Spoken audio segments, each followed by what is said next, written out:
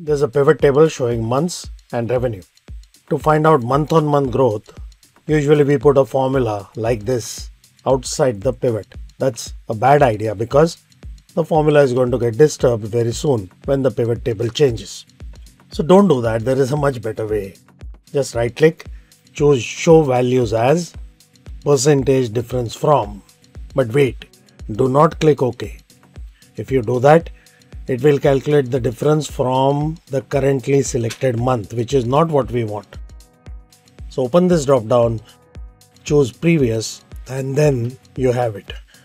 When there is a mixture of positive and negative values, it's, it's a good idea to put conditional formatting data bars. Make sure the base data bar color is not red because negative automatically becomes red. So that's it for now. Thank you.